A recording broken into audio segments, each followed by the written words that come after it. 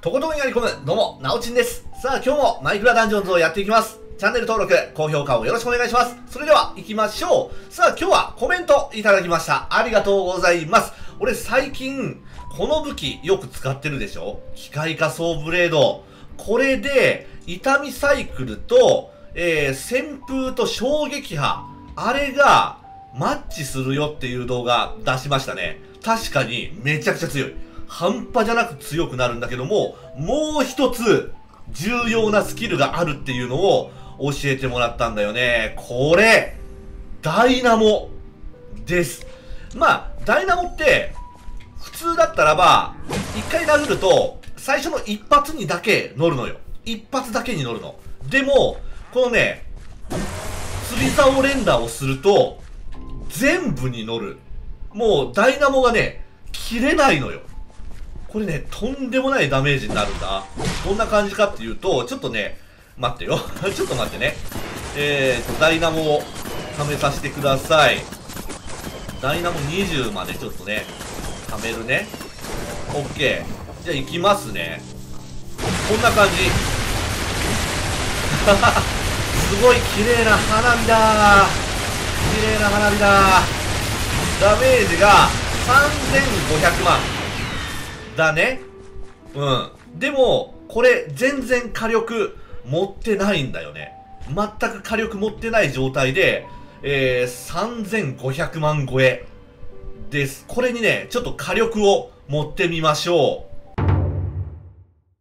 それでは、とりあえずっていうことで、ある程度上げてみましょう。力のポーションで2倍だよね。そして、弱体化のドラで、さらに3倍。で、輝くローブ、プラス30%ですね。まあ、さらに上げれるよね。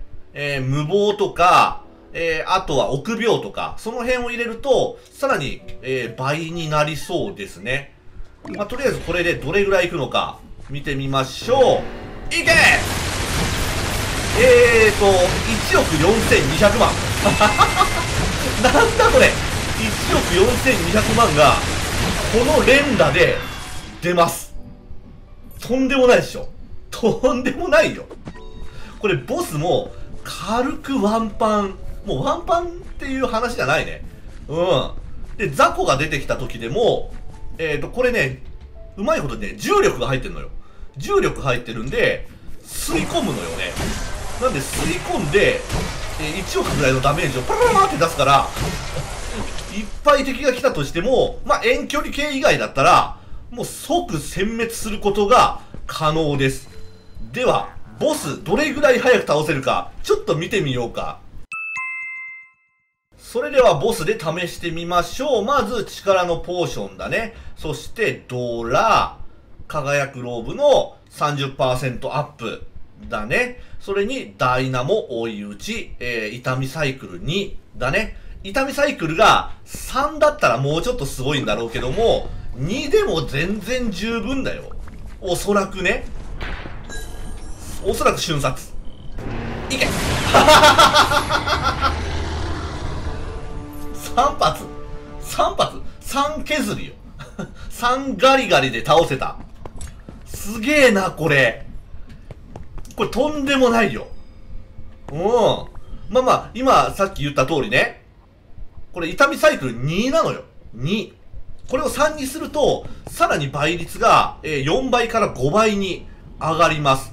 で、これパワーが251です。